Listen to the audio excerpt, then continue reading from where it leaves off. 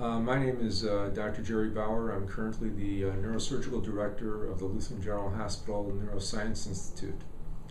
Uh, there's three areas that we think are important in the care that we deliver.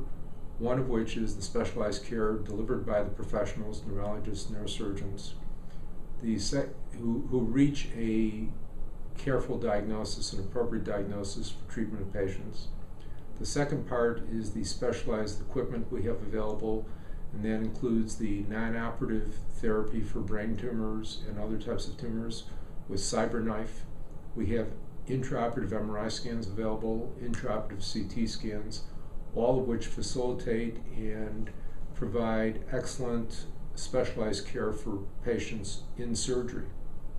And the third part of what we provide that's very special is the rehabilitation and the care of the patient after treatment and after diagnosis.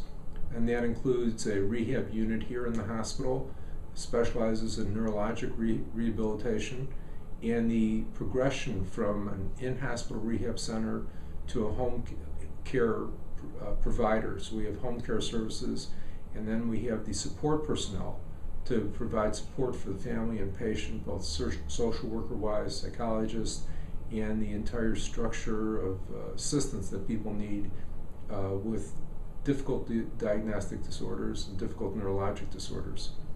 So we've consolidated this in a neuroscience institute so people can access us with a single number and allow access to the specialized care we have here at Lutheran General Hospital.